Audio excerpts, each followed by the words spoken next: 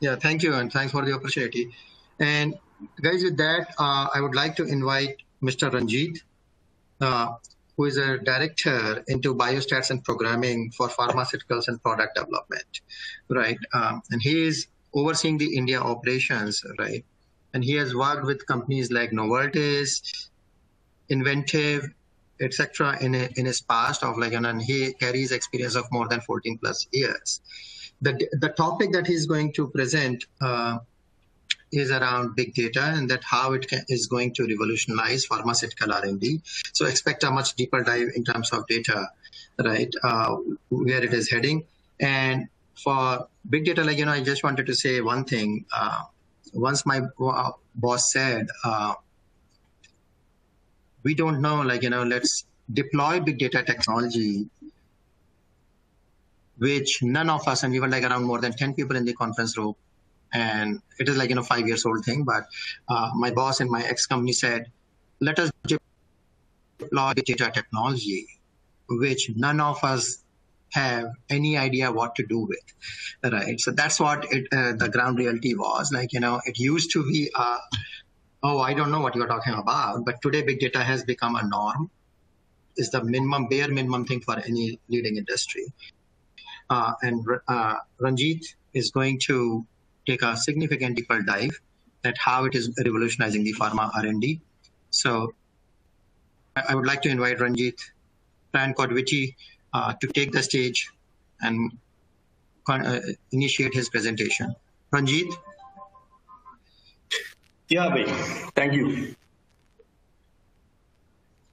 Oh, hope all of you can hear me and uh, yeah, hope all of you can uh, see my screen as well. Yes. So um, yes, we can. Thanks, Sarvesh. Thanks, Abhay, for good start. Uh, already Abhay covered a little bit about data. Uh, he even mentioned about the big data as well, and and even Sarvesh mentioned like if people now it's it's time for them to think where we need to where they need to go, where we are heading to.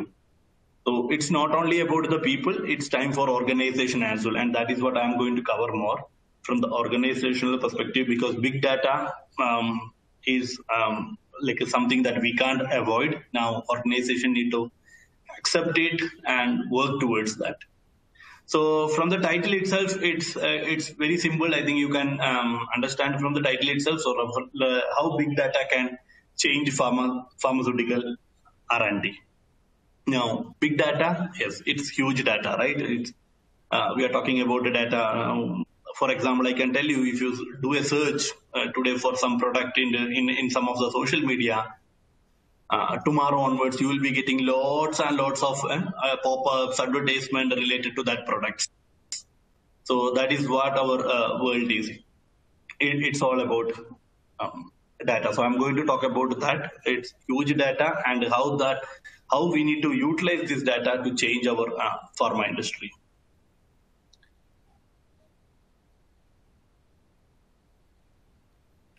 Okay, so um, why big data? Now, before moving to that, I have some questions. I'm like, I would like to check with you people.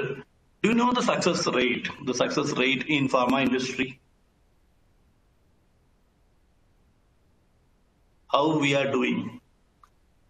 I, I don't want to waste too much time. I know it's a, it's a virtual sessions. Now we'll be having some uh, limitations for uh, interaction and all. Like if it is a face-to-face interaction, classroom interaction, I can call someone or some people will raise their hand and answer it. But since it is virtual, I'll move ahead. So as per data, it is showing that less than 10 percentage. The success rate in clinical industry is less than 10 percentage. That means only five out of 5,000 trials are moving from preclinical to human testing. And one out of 5,000 are only coming to the market. So it's a it's a very like maybe I can tell you very bad situation. So we are struggling a lot to get a product into the market. There are lots and lots of challenges.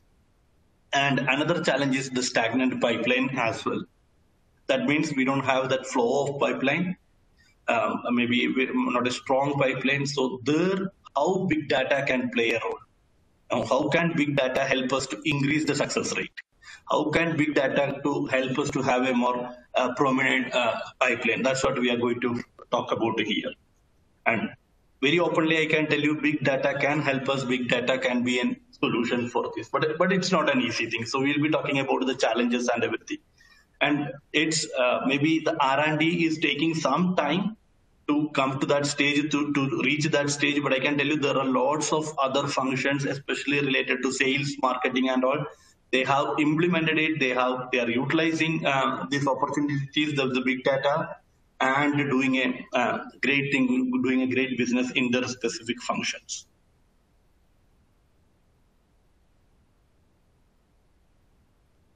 Okay now how now how uh, it will help us? Now applying the big data what, some of the studies are showing that if we apply the big data in the R&D sessions, or only for the US, like if we consider only the US market itself, it is telling that it will add value of more than 100 billion uh, US dollars. How how it will be? Because there are we have to optimize the innovation because there are lots of innovations happening now. We are I think um, we just talked about the data science. Abhay talked about lots of techniques, lots of uh, things that is happening into the market. So it's all the innovative methods. So we have to just optimize it. It's happening here and there. So for different, for all these innovations, they are capturing data, right? They are utilizing the data. They are using the data. How can we optimize it? Maybe interchange it, maybe utilize for different purposes. So that is one of the thing. How can we improve the efficiency? Definitely, we are in the stage of automation. We are talking lots of um, um, things related to automation. We are trying to reduce our cost and um, time. So how can big data help us? Definitely big data can help us to improve the efficiency, building the tools. Now, when I talked about the automation, you all know that maybe SDTM, uh, 15 years back, 2005, I started my career. And now it is 15 years in this industry. SDTM was not there. Now, data anonymization is happening in industry. It was not there. Now we are talking about, uh, just now we talked about precision medicine, personalized medicine and all. We're not aware of all those things that time, right? So there are lots of new tools coming into the picture and definitely big data is going to help us. Now, in pharma industry, the data that we are getting, we are getting data from the different sources the R&D process itself, the research and development process itself will capture lots of information, lots of data. The data from retailers, data from patients, data from uh, caregivers. So what we need to do is we have to effectively use this data. There are lots of silos. It is not getting integrated together. So what we, we like when it comes to big data, we would be integrating all this data. We will be like um, utilizing all these huge data effectively. Then utilizing for um, uh, developing more tools and uh, optimizing the innovation and improving the efficiency. Now I can tell you, just imagine a future. Okay, uh, just just think of it. already, I know Abhay talked about it a uh, little bit, but there are, like I just want to tell, think that predictive modeling, where like um, we can um, like as he mentioned, the DNA things, gene things, and all those things. So it is working, and we can uh, check, uh, find the uh, patients how they are reacting to a specific drug, and then uh, uh, producing the medicine. So personalized medicine, the precision medicine. Okay. So uh, how it will happen? The, the predictive modeling and using that data and developing. So it will definitely it will help us to do the clinical trial with the minimum subjects. So we can reduce the cost, we can reduce the time, and uh, the, the, success rate will be definitely it will be high because we are uh, working towards that, uh, working on that specific subjects. Okay, and along with that. Um, one of the challenge you know i told that about the success rate and everything one of the uh, reason for the failure is the recruitment the recruitment challenges maybe we are not getting the exact sample or we are not getting the correct sample. Now, uh, why can't we uh, depend social media for enrolling the subject? Okay, not only social media, there are lots of uh, other factors as well. So, like as I mentioned already, the, the genetic informations and, and, everything. So, these all will be considering uh, for the patient's recruitment, and definitely that will also helping us uh, to improve the to uh, increase the success rate. Trial will be monitoring uh, uh, the, the, remote site monitoring. This is one of the things that currently happening. I think most of the organizations are into that. Now, rather than getting to know about the safety signals or the challenges at the end of the trial, we will be monitoring the trials in between and getting to know the safety signals and acting accordingly. So definitely that will be helping us to save the cost, save the time because we are getting to know about the safety signal as early as possible, right? And there is a continuous flow of data, the removing the silos, as I mentioned already. Like there are lots of challenges. You know, uh, I know like when we are working into the SAS programming or as a statistical programmer, I don't know how much information we are getting from other functions. We don't have much information about the discovery stage, what data they have used, how much information they are having. Particularly with the clinical uh, development area only. So if we remove that silos and work with the other functions and get to know about their information, their data, integrate all this data, definitely that is also going to help us to improve the uh, success rate. Okay, so that is the vision. Now, uh, as I mentioned at the beginning, I'm not talking about the from our perspective. More than that, I'm talking from the uh, organization perspective. So it is time for us. It is time for pharmaceutical companies to accept it and invest for that. It's uh, definitely there will be challenges, but uh, it is in a, in a long term, in a um, uh, future that is going to add value, increase the uh, success rate. Okay. Now, when I'm when we are talking about the big data, huge data, and all, I, I have already mentioned there are going to be the challenges. So what we need to do. So I'm now I'm now going to talk about the eight prescriptions, I can mention it as a pres uh, prescription that we have to implement or the, the, pharmaceutical organization need to implement and that only will help us to uh, improve it further. So one of the thing is, I know there are lots of information in the slide. You don't need to read about each and everything. But what we can talk, uh, talk about is the integrate all the data. Now I have already, like we have already discussed about it. We have already mentioned data. Now, as like Sarvesh also mentioned at the beginning, uh, we all are working because of the data or we all are working with the data. And these data are the foundation for all the result that we are producing or, or for all the analysis that we are doing. Okay. So, but what what we are happening is what we uh, what the challenge is the most of the data that we are having is not inconsistent or unreliable. Hmm? So there like, and it's not well linked also and most of the time it's particularly staying with that that, that function maybe from our side itself we will be maximum interacting with the dm uh, the, the, data management people but it is not happening further or it is not moving uh, beyond that or uh, some some other functions what we need to do here is remove that silos integrate the data from the beginning whatever data that we are getting from the uh, portfolio side at the uh, beginning of the stage hmm, the clinical development side, from the marketing side. So integrate all these data. So that means we will be getting huge information, huge data that will definitely that will be giving us opportunities to produce the um, uh, this uh, uh, as I mentioned the, the, personalized medicine, precision medicine, and everything.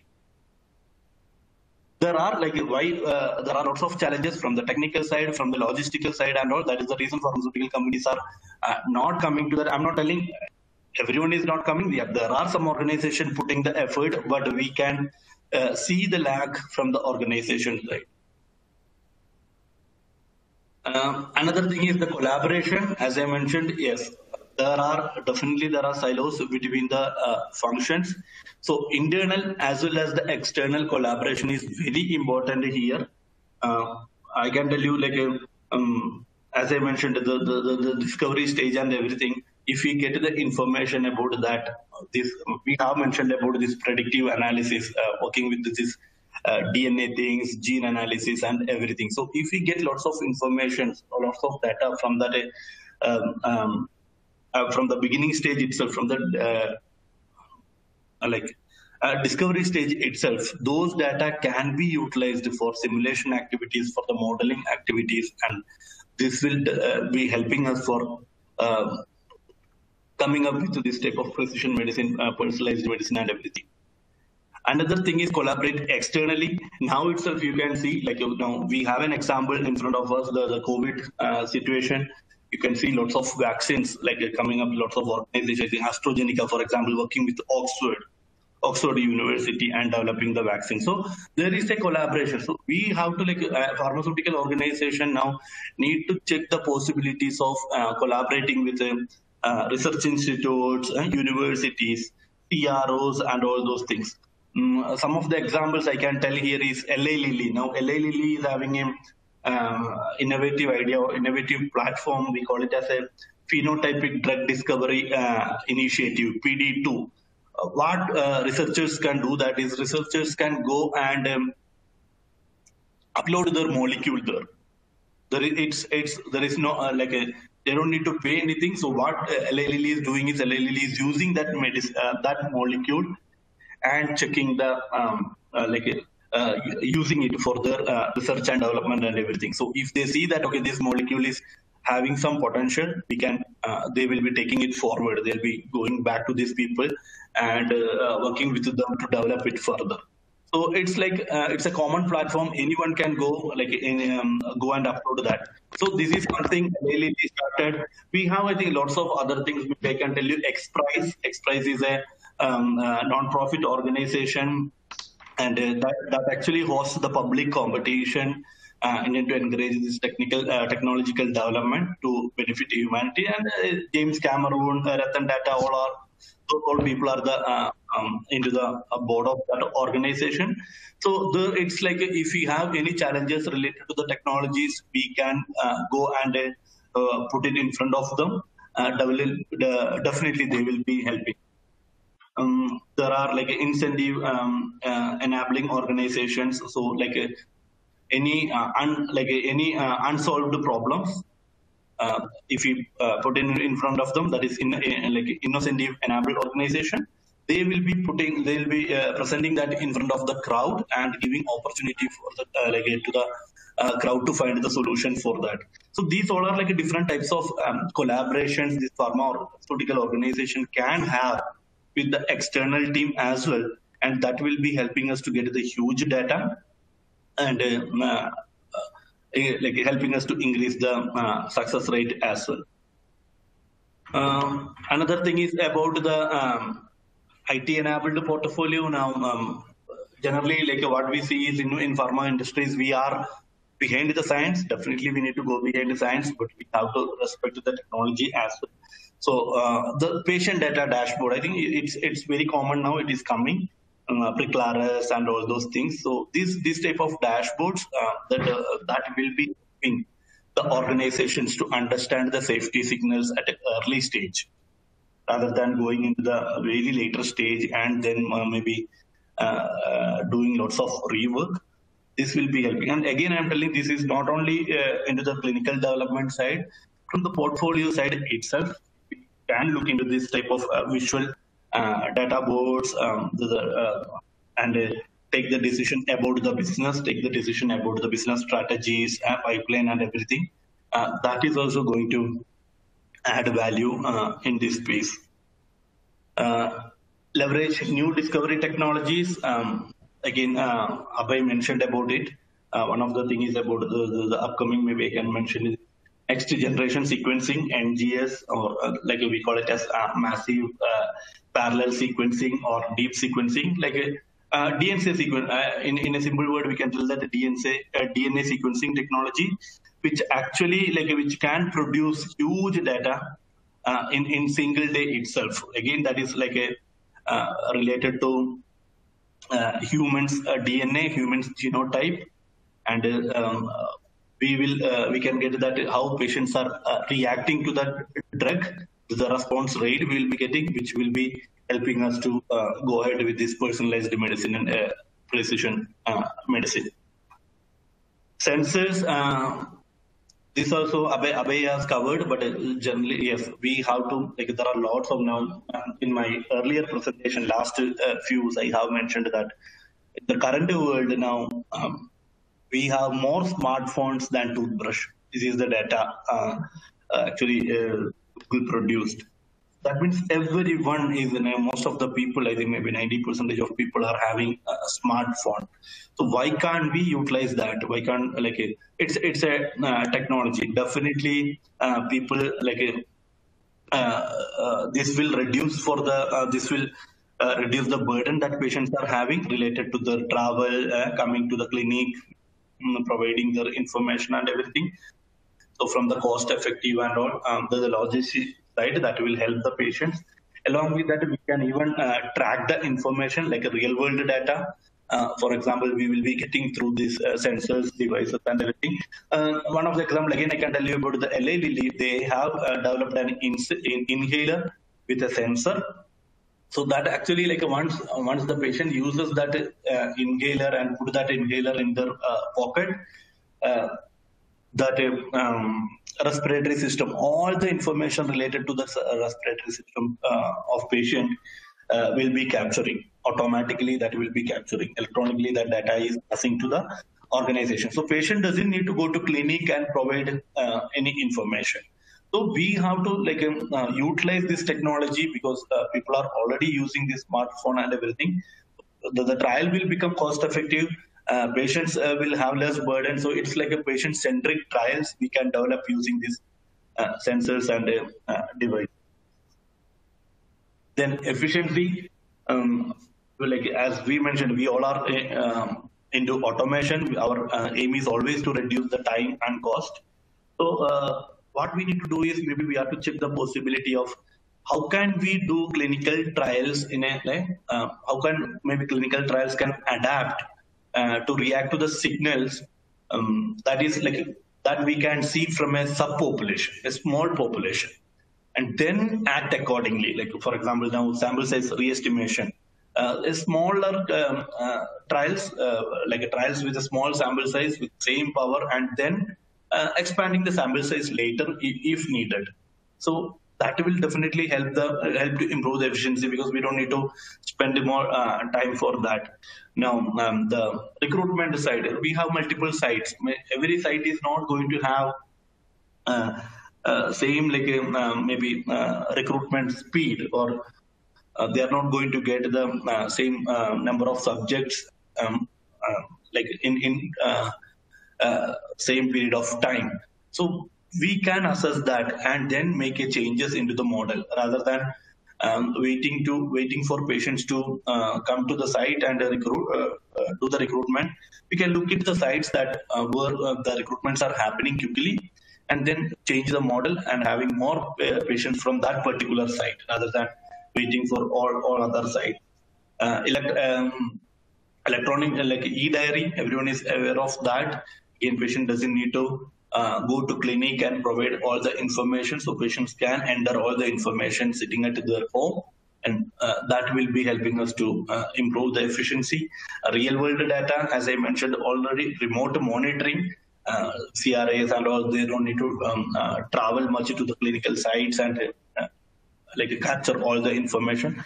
So all these things definitely will be helping us to improve the efficiency safety and risk management uh, very important because this data we can cover from uh, lots of sources. For example there are uh, search engine uh, patients inquiries on website and search engines. Definitely we will be getting to know about uh, the safety signals because whenever you are having now think that if you are a patient and you are taking a medicine and you are having some side effects definitely what you are going to do you will be searching right? Now now we are into that world we all are educated. Now um, everyone is having smartphone so people are not going to run to the clinic quickly. They will be uh, searching into the uh, Google and checking that why I'm having headache after taking this medicine. This is an adverse event, hmm? uh, the expected adverse event or not. So using this type of patient inquiry on website and search engine, we can collect lots of uh, safety information.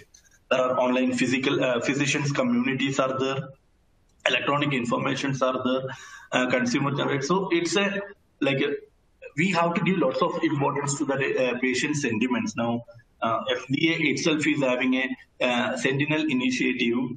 So, what FDA do is that anyone can go and record their, uh, provide the information about their um, safety signals into that uh, website. So, FDA is having huge data uh, related to this um, because if, why they have started with this initiative is these all are the drugs that they have approved so if um, if it is impacting uh, the, the, public health, they would like to aware of it and take the action. So there are already like um, it's in place. It's uh, from the 2009 onwards. Um, they have uh, initiated this, so patients can go and uh, um, provide the information, so patient sentiments, and the FDA is already having the huge data about this um, the safety signals.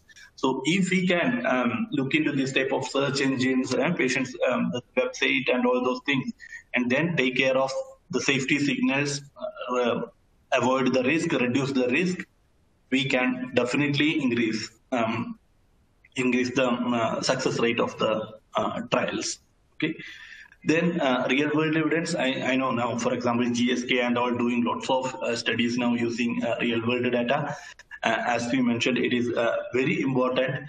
Um, one thing is like, you know, whenever we are doing the clinical trial, we have our own inclusion and exclusion criteria.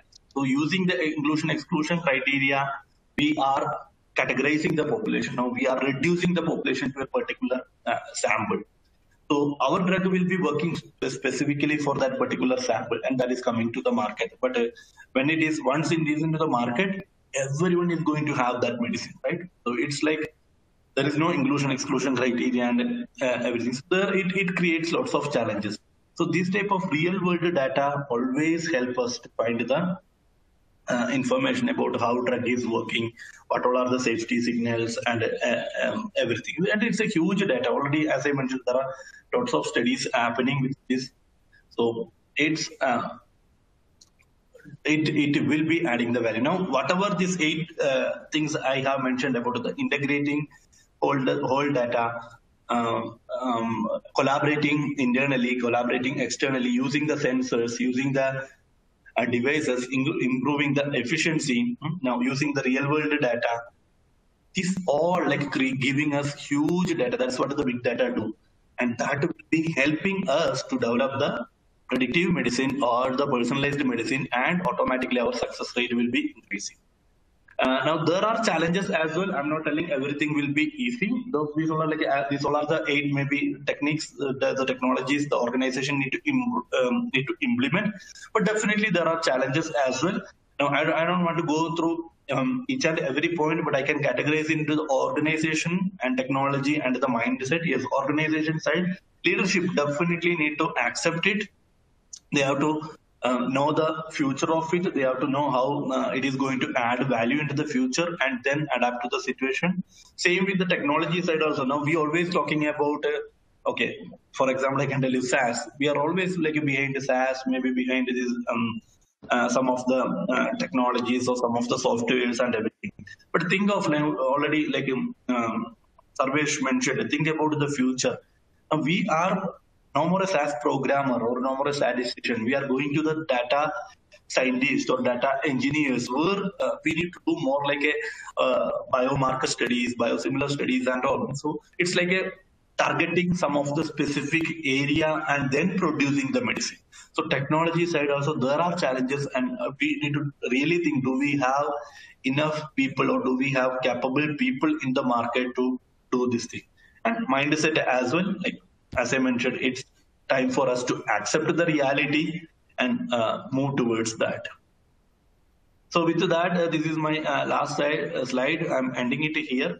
As I mentioned, this is uh, more than from an individual perspective. I talked from the organization perspective. So pharmaceutical now organizations need to accept or need to utilize all these um, uh, technologies and use need to utilize the data that flowing to us or the need to utilize the data that is available into the market and then make the changes in the technology to improve the efficiency improve the quality of the medicine and definitely that will be helping us to improve the success rate and have a strong pipeline. So I'm ending up here and uh, the floor is uh, keeping floor open as right. Thank, thank, you so much. Yeah, thank you so much, Ranjit. So I'll read out. There is one question for you, uh, Ranjit. Um, uh, there's an interesting question here. Uh, this is from Mukesh Paraxan. I would call it uh, data science as part of statistics, and data science is only fancy term, and uh, uh, it is like old recipe in a new plate did we have did we have any uh, methods invented in data science? Uh, so we are like as i mentioned we are using data for a long time. We all started like from at the, at the beginning of our career itself we are using data. No doubt about it. So data is not nothing new. But now the things are like from where all we can get the data data is flowing through different different channels. So we have to utilize all those that like as i mentioned maybe we are uh, uh, using a sample from the population. And that sample is like we are categorizing it or scrutinizing it through different channel like inclusion exclusion criteria. And it's making it as big very small sample and then doing the clinical trial. And that is the reason the success rates are very low. Now we need to, it's time for us to use the huge data and then develop the medicine. And there are like a, you will think okay if you are going behind all those data it will take time because we need to capture that data. No there are data are available already like in the previous um, uh, presentation, they have mentioned about Amazon, Google. Hmm? We have seen like all these companies, big, big, maybe IT companies, they started working with uh, pharmaceutical companies. You know what is having tie up with uh, now Google. They are developing some of the medicine lenses and all those things, pills and all. So there are there are opportunities, and uh, I I just want to mention that about this thing the precision medicine that we are talking or personalized medicine that we are talking or the patient centric trials that we are talking these all are it's maybe it's not a old term these all are coming into the picture because of this data. Now pre, earlier we were not having data to look into these biosimilars and then uh, work towards some particular gene or particular DNA and develop the medicine but the data science is now helping us to develop such medicine okay so thank you thank you Ranjit i think uh, uh, with the interest of Abhay, we can move on to the next uh, thing. Please go ahead. Sure. Thank you.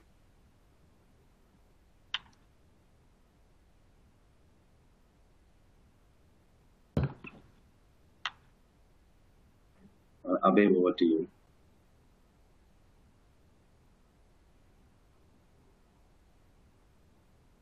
Hello. Sorry, uh, Japanese, like I was on mute. I didn't realize that. Um, all right. Sayala, uh, Ranjit, a big thank you, like, you know, for taking a dive into the data management and how big data is all trying to revolutionize.